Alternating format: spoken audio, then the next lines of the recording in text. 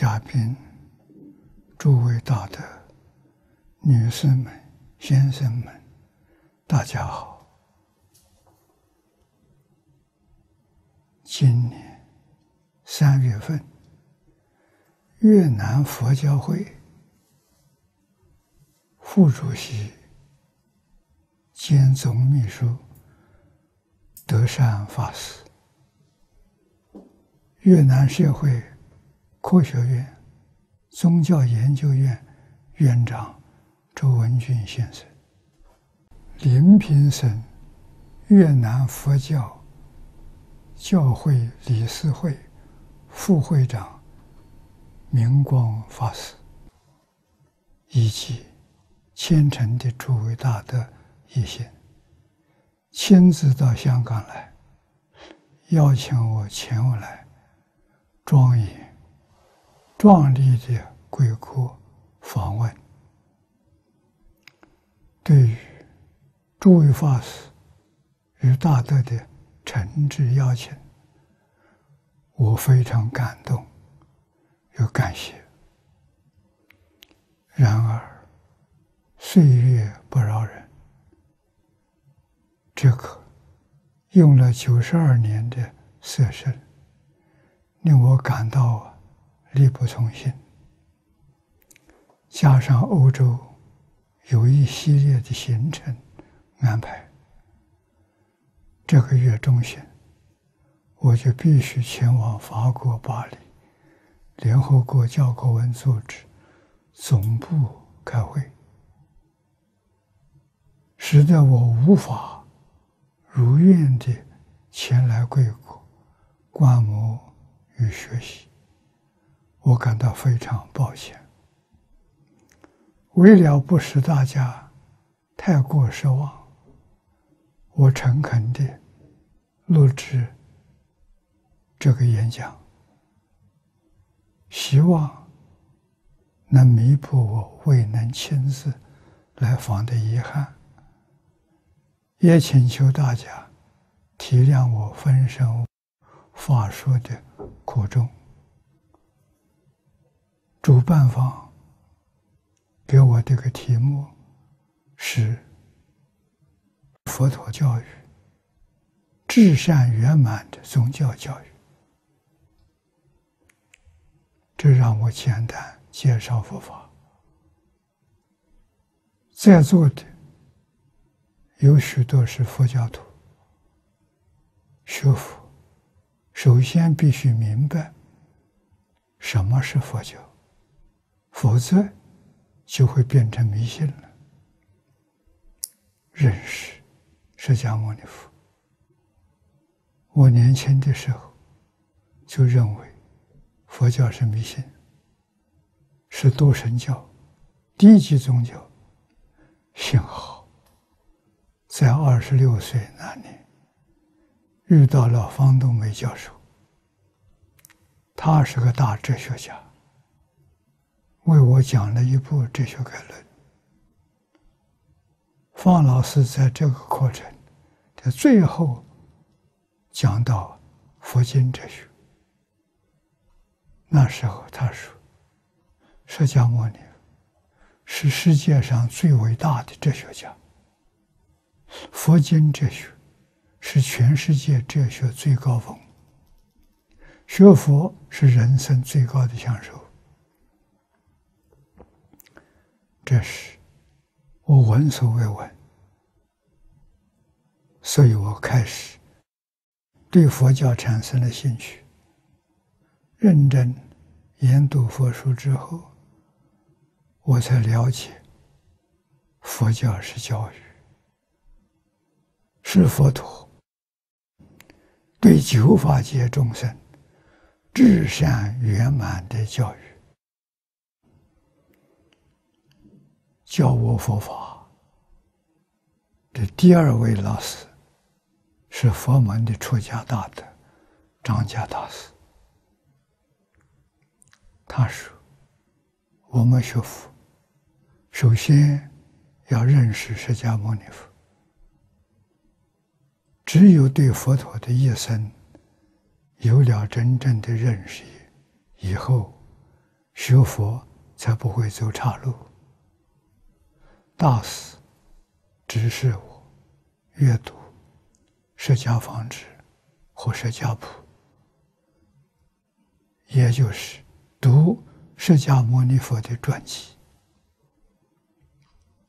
阅读了这两本书之后，我才发现到释迦牟尼佛的身份，用现在的术语来说，是一位多元文化社会教育的义务工作者。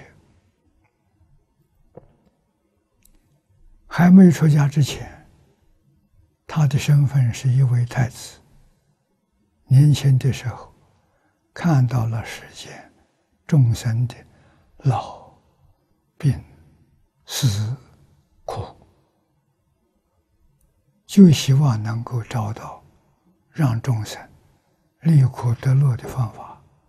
于是，他选择了出家去修道。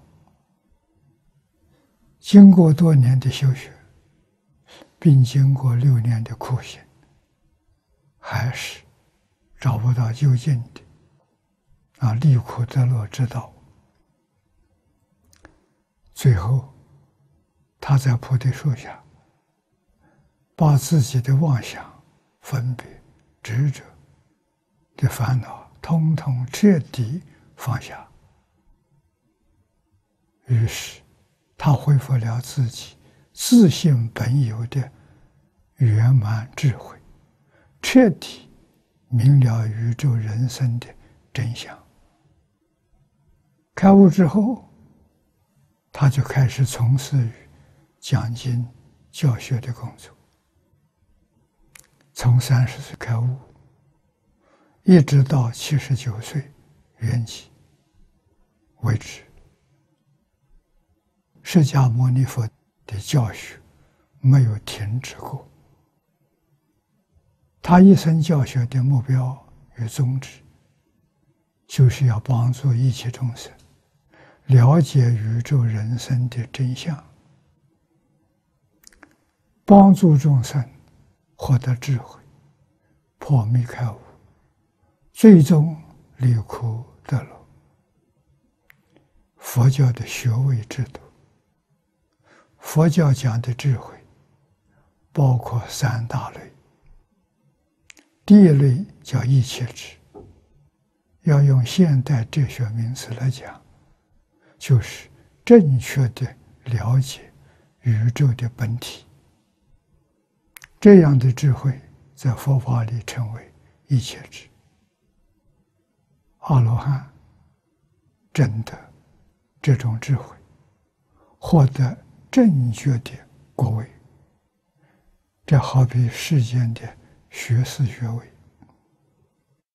第二种智慧叫道种智，种是指现象，宇宙之间的现象，种类无量无边。这许许多多的现象怎么产生的？从哪里来的？现象过程如何？后来结果如何？能够正确明了宇宙万象的智慧，这叫道种智。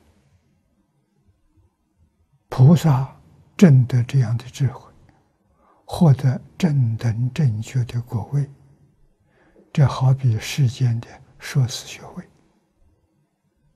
第三种智慧叫一切种智，就是对于宇宙人生的真相。究竟圆满的明了，没有一丝毫的迷惑，也没有一丝毫的差误。智慧达到究竟圆满，无所不知，无所不见。佛正德的智慧，获得无上正等正确的果位。这好比世间的。博士学位，所以佛并不是专指释迦牟尼佛，一个人，而是指证得究竟圆满智慧的人都成为佛。佛法的修学体系，释迦牟尼佛讲经说法四十九年，所讲的内容非常多。这些内容可以归纳成五尘。人成、天成、声闻成、缘觉成、菩萨成。成是交通工具，这是一种比喻。对于欢喜做人的，佛教他受持无戒，无戒能把他送到人道；对于欢喜升天的，佛教他修十善，十善能把他运送到天道。对于欢喜成为阿罗汉的，佛教他四谛法门，解脱生死轮回，这是声闻者。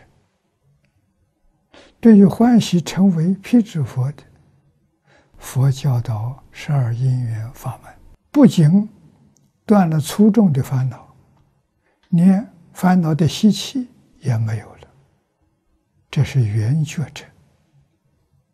对于欢喜成佛的，佛教导他修六度万恨的法门，广度众生，圆满菩提，这是菩萨者。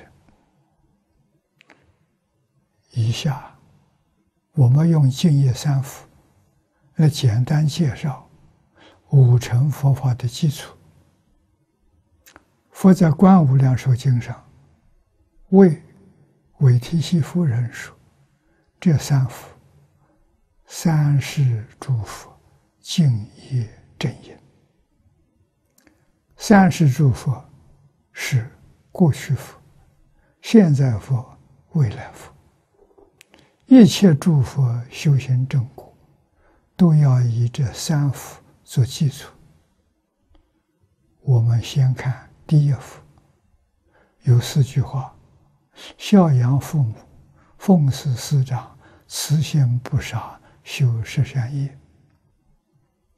第一句，孝养父母，佛经从印度梵文翻到中国，中国的文字非常特殊，而且含义非常深，是一种智慧的图案。这个“孝”字是会意，我们要体会这个字的意义。它上面是个“老”字，下面是个“子”字，这就是告诉我们，上一代跟下一代是一体的，是一个，不是两个。过去还有过去。未来还有未来，过去无时，未来无踪。无时无踪的时间和空间，就是佛法里所讲的“数穷三际，横遍十方”。换句话说，整个宇宙是一个“孝”字。所以，什么人能够把孝做到圆圆满满？给诸位说，只有成佛。如果不成佛，这个孝子怎么做也做不圆满。所以，孝亲不但是奉养父母，《戒经》里面讲，一切男子是我父，一切女人是我母。这是把孝顺父母。这种孝心发扬光大，尽虚空变法界就是一个孝道。所以，大乘佛法是建立在孝道的基础上。佛法是师道，师道一定是以孝道为基础，没有孝道就谈不上师道了。孝顺父母的人就会尊敬师长。假如他不尊敬师长，不听老师的话，不好好的学，父母就忧心，就操心，这就是不孝啊。兄弟一定要和睦，如果不和睦，父母会忧虑，这也是不孝。他一定做事情认真负责，一定奉公守法。为什么？不使父母担忧，不使父母牵挂。所以孝道确确实实是信德的究竟圆满。佛教给我们。从这个地方学起，要尊敬老师。佛是我们最早的老师，三千年前开端的老师，连这位久远的老师都尊重，都念念不忘，对眼前的老师。哪有不尊重的道理？所以，我们供佛像是返本报时，是报恩的意思，这是一定要知道，而不是把它当做神明看待。这是为什么佛弟子要供佛像？它有非常深的教育意义在其中，让我们看到佛菩萨形象，就想到孝敬、孝亲、尊师。地藏节是佛教里的孝敬。佛在地藏经上讲大圆满之后，接着。就讲慈悲，此处敬业三福，在讲孝亲尊师之后，接住也是讲慈悲。从这个地方，我们就晓得，慈悲是非常重要的一门科目。孝敬扩大就是慈悲。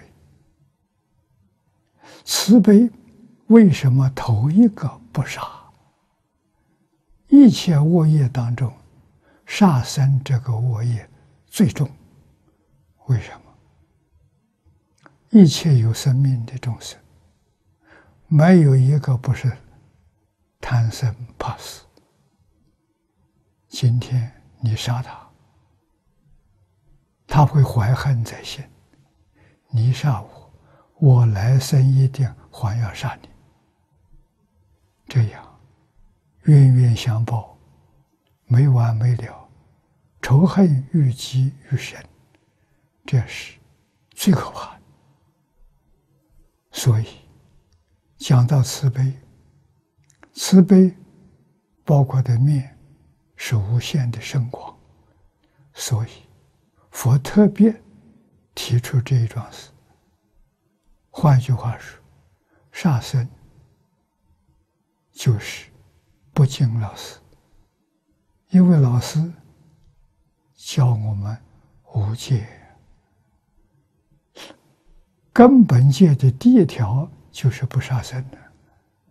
我们今天还杀生，哪里是听老师的话？这就是不敬老师，不敬老师。也就是不孝父母，父母希望我们听老师的话，依照老师的教训去奉行。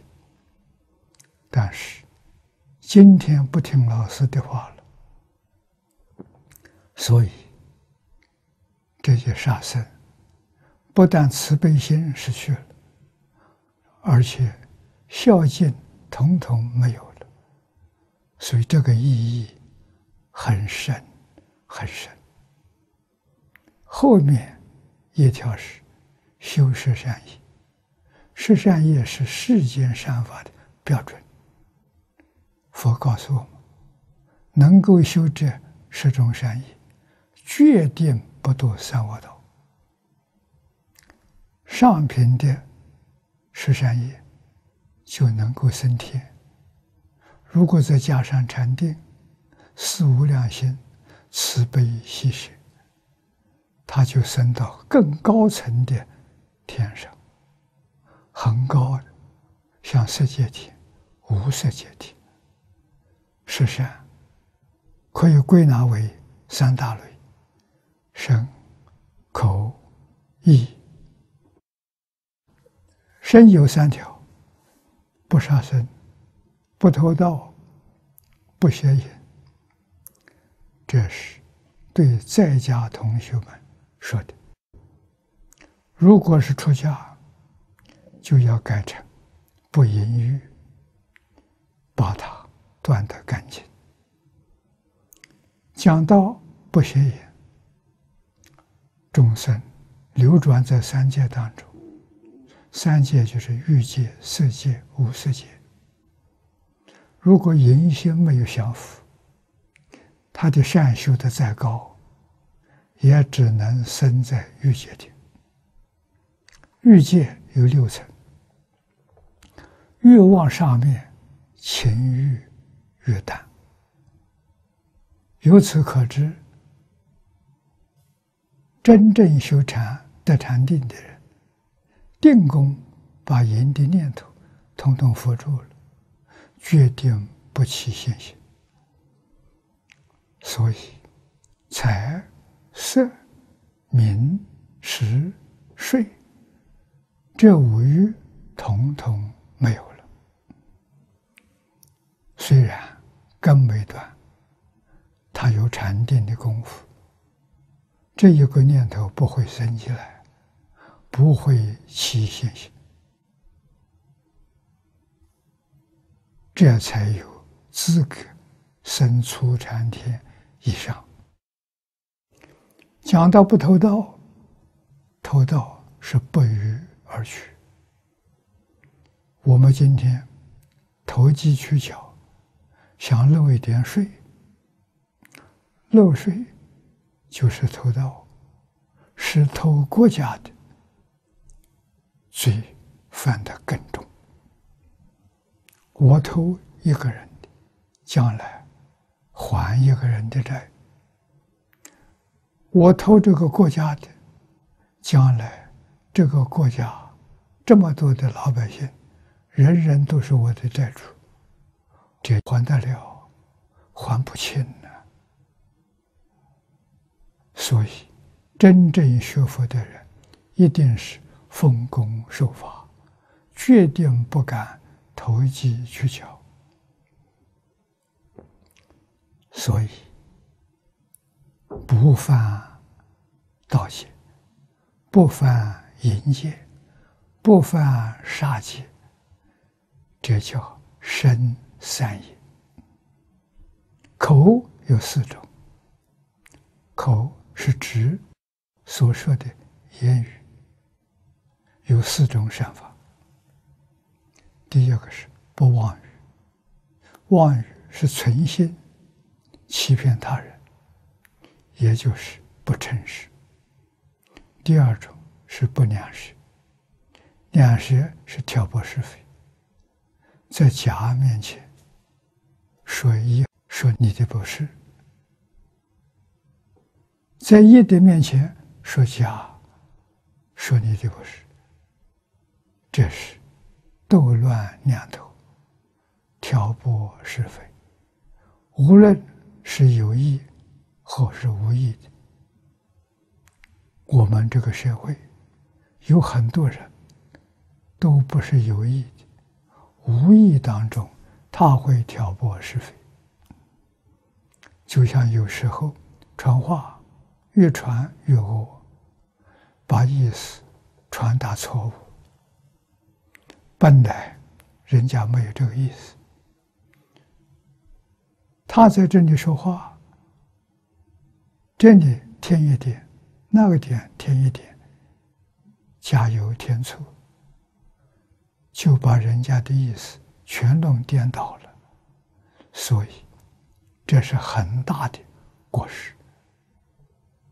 小者叫两个人不和，大者是两个国家打仗，这个过失很重，决定不能够疏忽。啊，那第三个是不握口，握口是说话没有分寸，没有礼貌，很粗鲁，使人听了之后很难受。第四种叫不绮语，绮语是花言巧语，说的非常好听，可是用意不善。譬如，现在社会上许多电影、许多歌舞、音乐，听起来很好听，看起来也不恶，它叫人什么？都是叫人造杀盗淫妄。这一类通通属于其余。口要立这四种恶业，口业就善了。第三，意业，也就是我们起心动念，念头里面归纳为三大类：不贪、不嗔、不痴。贪。是讲贪爱，包括吝啬，所以常讲践贪。我们对自己没有的，拼命在希求，希望得到，这是贪心；对于已经有的，放不下，舍不得，不肯帮助别人，这叫吝啬。这也是贪心，贪是修学佛法最大的障碍。所以佛教给我们布施，布施就是把贪心舍掉。有一些学佛的老同学，对世间法的名闻利养，他不贪了，这很难得。可是，他贪佛法，这也想学，那也想学。注意想想，他的贪心并没有断呢。啊，佛教我们断贪心啊，不是叫我们换贪的对象。从前贪世间法，现在贪佛法。还是贪心，贪心还存在，这是错误的。所以，对佛法和世间法，通通不能贪爱。其次是不嗔恚。实在讲，为什么会嗔恚？贪不到就嗔恚，如果谈到了，他就不起嗔恚心了。嗔恚是很大的烦恼，贪嗔痴叫三毒烦恼，奸贪是恶鬼的业业，人死了为什么会变成恶鬼？贪心未断，为什么会堕地狱？嗔恚没断，为什么会变畜生？愚痴，什么叫愚痴？是法、佛法有真有假，有正有邪，有是有非，有善有恶，他辨别不清楚，没有能力把假的当做真，把邪的当做真，这是愚痴啊，并不是他有意这样。他是无意的，为什么无意？愚痴，没有智慧。所以三毒烦恼是我们真如本性里最严重的障碍。佛法的修学应该从哪里去修？从根本修。根本是什么？根本是心，心有贪嗔痴，有贪嗔痴就是错误了，必须把它修正过来。所以重新改起，就是根本修。身善、口四、意三合起来叫十善业。孝养父母，奉事师长，慈心不杀，修十善业。我们统统都能够做到，这才算是世间的善人。世间法里讲，善男子、善女人，必须要符合这个标准。但是，佛在经典里面。讲的善男子、善女人，这样还不够，因为那个标准比这个还高。可见的，这是个最低的标准，但是已经不容易做到了。三福，第二福。有三句话：受持三规，具足众戒，不犯违意。这说的是二乘佛，二乘就是声闻和缘觉，也就是小乘的佛法。我们知道，大乘是以小乘佛法为基础。今天我们修学大乘佛法，小乘经不学了，这就好像盖大楼，地基不要了，第一层也不要了，就想从第二层盖起，这叫空中楼阁，所以怎么盖都盖不成功，这就是为什么。我们这一代没有见到真正的佛法人才出现，不像过去，代代都有高僧大德，都有真正修学的在家居士出现，这一代就没有了。为什么没有了？就是大家。把基础疏忽掉了。小乘建立在人天基础上，就是建立在前面这个基础上。前面讲的孝亲、尊师、慈心、修持善业，要建立在这个基础上，有这个基础，才真正。能够入佛门，有了学佛的条件，这一入佛门，就要先拜老师，受三皈依。三皈依是非常隆重、非常严肃，是一桩大事，不是小事。这是我们正式要拜释迦牟尼佛做老师，这一生。依照老师的教训来修学，来修行。正式拜老师，老师一定要把学佛的指导原则教给你。从今天之后，我要修行，修行要有一个标准，把这个标准传授给你。这个标准就是修正。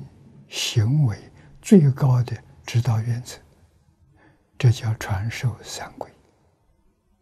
三规是归佛、归法、归僧。古时候讲三规，大家都懂，不会错解意思。佛教传的年代久了，传到现在，我们一听佛法声。就把意思接错了。想到皈依佛，就想到佛像。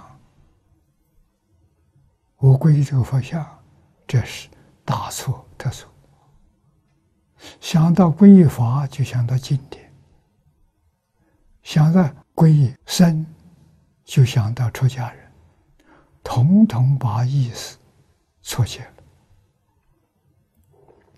在唐朝的时候，禅宗六祖慧能大师大概就晓得这种情况，怕后人对三皈误解，所以他老人家传授三皈时候讲：皈依觉、皈依正、皈依净。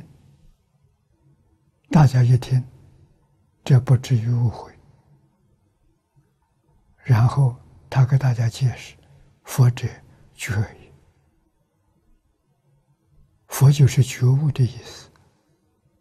法者正也，法就是正知正见。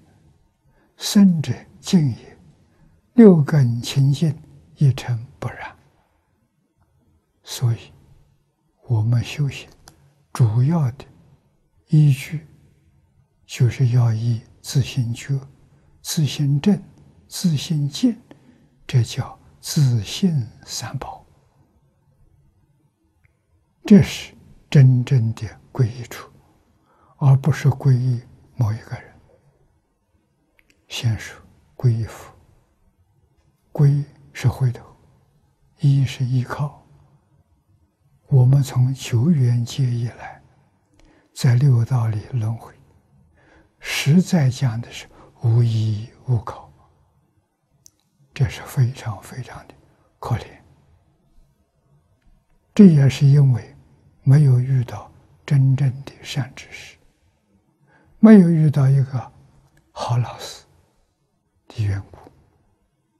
今天遇到好老师，老师教导我们：你要从迷惑颠倒回头，依靠什么？依靠自信就。你的自信本来就，所以皈依佛，佛不是外面的佛，是自信佛。净土宗常说：“自信弥陀，唯心净土。”阿弥陀佛是自信变现出来，释迦牟尼佛也是自信。变现出来的，十方三世，一切诸佛如来，统统是自性佛。所以，我们皈依的是自性佛，就是自性觉，佛就是觉的意思。从今天起，我要觉而不迷，无论对人、对事、对物。我都要觉悟，决定不能迷惑。觉而不迷，就是真正的皈依了。如果皈依了佛，还是迷惑颠倒，还是颠三倒四，你就还没有回头，也没有依靠，那么你的皈依是有名无实。是得不到护法神的保佑，得不到感应，所以一定要认清楚，要皈依自信求。第二，皈依法，法是对于宇宙人生的看法、想法，完全与事实真相符合，这也是正确的。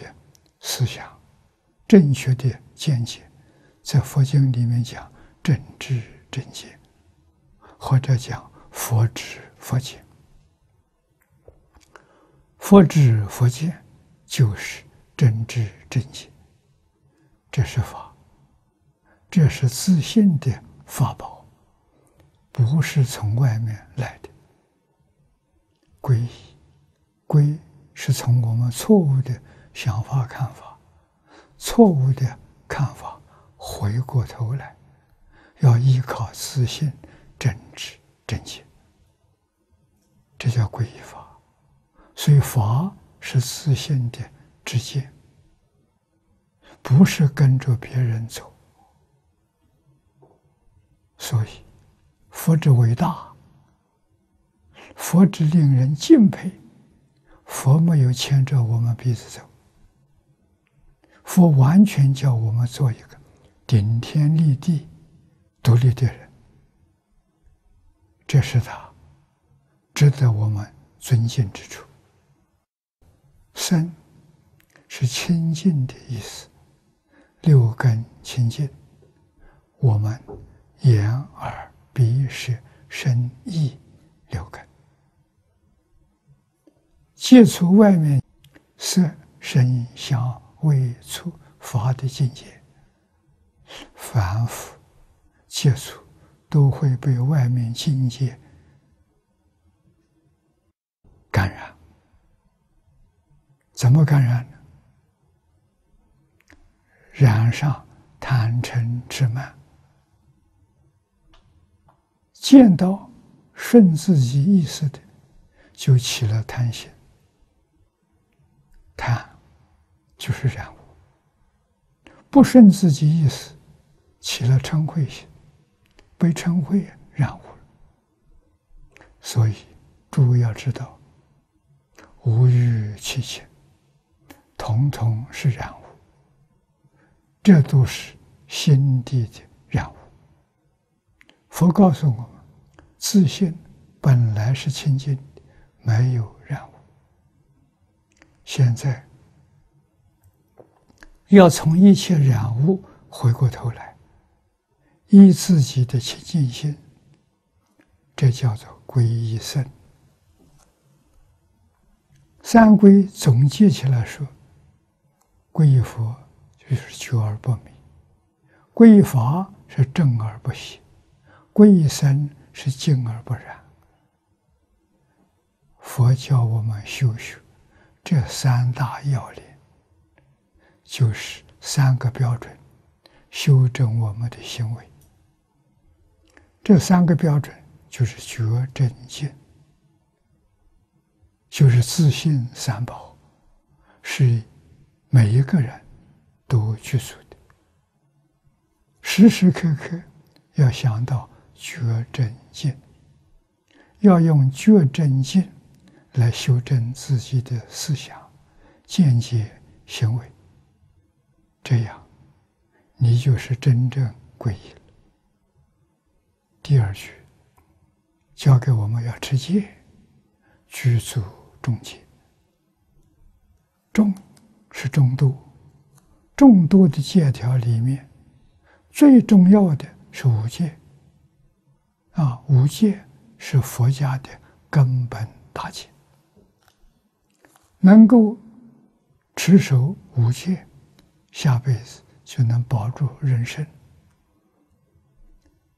底下一句讲：“不犯威仪，威仪是礼貌、礼节。日常生活当中，处事待人接物，应该守一些规矩、礼貌，这是属于威仪。第三佛是大乘佛。大乘也就是五乘佛法当中，菩萨乘。大乘佛有四句：发菩提心，深信因果，读诵大乘，全尽心者。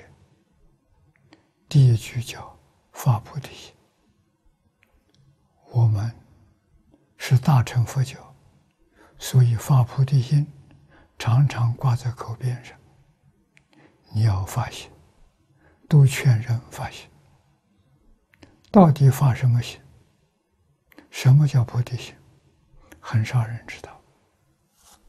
菩提是梵语，翻成中文的意思是觉悟。菩提心就是真正觉悟的心，真实不迷的心。觉悟什么？觉悟到人生真正是苦啊！佛给我们讲三界痛苦，不但人苦，天上也苦，人间三苦八苦，通通具足。这不能跟诸位细讲，细讲两个重点也讲不完。真正把三界的真相搞清楚了，你这才觉悟。觉悟之后，我们要离苦得乐。怎么离苦？一定要超越三界。怎么超越三界？依照佛的方法，真正修行。这才叫真发菩提心，真正觉悟。另外，佛给我们讲四弘誓愿，四弘誓愿就是菩提心具体的说明。大乘菩萨发了大菩提心，要以四弘誓愿的标准来看，就很容易明了。菩萨的心是普度一切众生，不但知道自己苦，要度自己，要度自己的家人，要度自己的亲戚朋友，还要度无量无边的众生，平等普度，这是大菩提心。这是寺院里面的第一个愿。众生无边誓愿度。实际上，四愿就是这一愿。后来三愿是为了完成这一愿。我要想度众生，如果度自己都度不了，你能度什么众生？那么要度众生，应该怎么修法？要先断烦恼，所以烦恼无尽是缘断，这就是修行的一个次第，不能不知道。先断烦恼，再修法门，法门无量是缘学，幕后一条佛道无上是缘成，就是烦恼断尽，法门圆满。无量无边法门，没有一样不通的，没有一样不圆满，啊，这叫做成佛道。第二句深信因果，我早年刚刚念《观无量寿佛经》时，念到了这一句，就起了疑惑。三福第三条。是菩萨修的，菩萨还不相信因果吗？后来念华严经，念到十地品，才恍然大悟，原来这个地方的因果是念佛是因，成佛是果，这一个因果是在讲。许许多多的菩萨都还不知道，所以佛在此地劝他深信因果，念佛是因，成佛是果，文殊、普贤、善财、发愿往生西方极乐世界，就是相信这一句。所以读华严经，讲华严经，才把这一句搞通了。原来这一句搞不通，可见的这实在是不容易啊。第三句读诵大乘，菩萨学佛不能一天不读大乘经。读经，注意一定要记住，经不是念给佛听的，读经是接受佛菩萨的教训。像我们念无量寿经，就等于阿弥陀佛在面前教导我们，他所讲的一切道理，使我们明了宇宙人生的真相。它里面有很多教训，教导我们在这个世界，或者是行菩萨道。的时候，要用什么样的心态、什么样的方式来做？换句话说，一切教训都要把它做到了，那么读经就有利益了。以上十句都是自理的，都是自己修行。只有最后一句，佛教的我把佛法广泛的介绍给大众。后面一句劝进行者，要劝别人学佛，要帮助别人精进，这就是菩萨度化众生。所以，凡是《大乘经》上所讲的善男子、善女人，那个善。就是这样的条条件，从孝养父母到全尽心者，统统做到了，这才是经上讲的善男子、善女人。可见的，那个标准不一样啊。佛教的特别法门，净土法门。从上面的说明当中，我们可以了解，修学佛法到成就道业是很不容易的。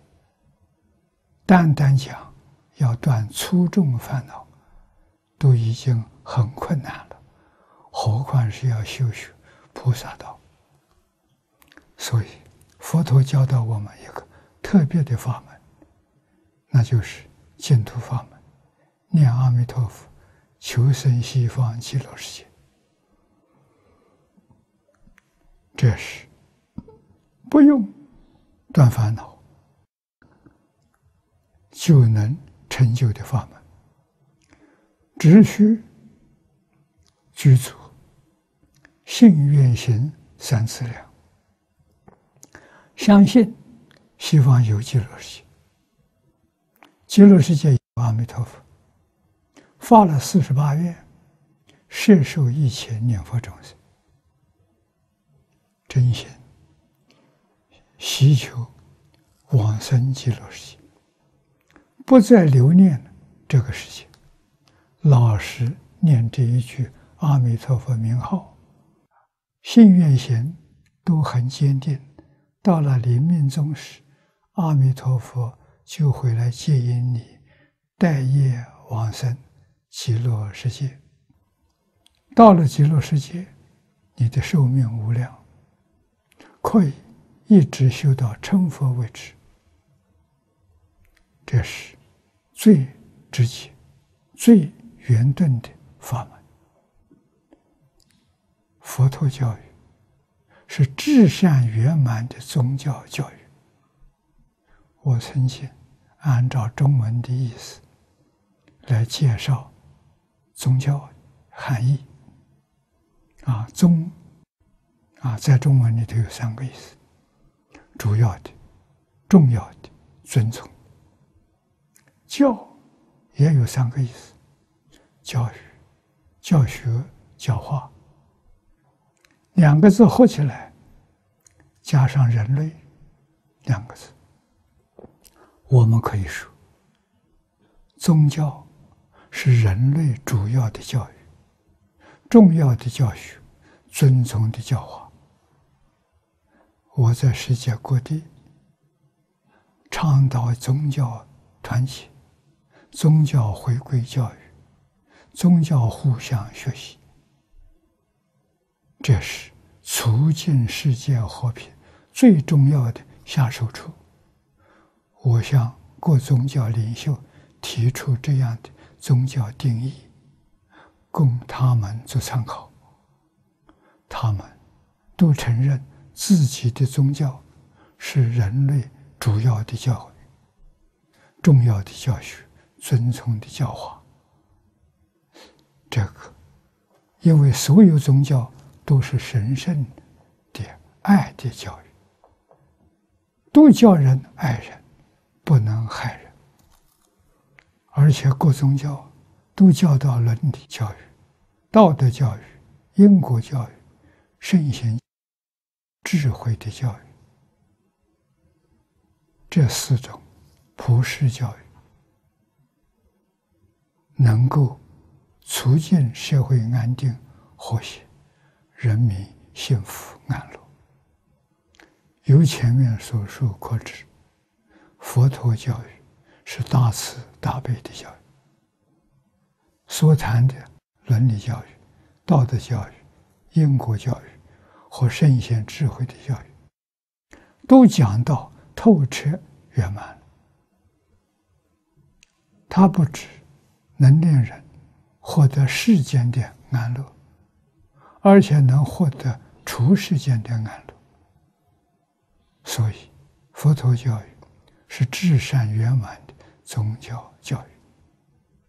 最后，祝福诸位身心安康，六世吉祥，祝福贵国国运昌隆，国泰民安，祝福世界安定和平，永续大同。谢谢大家。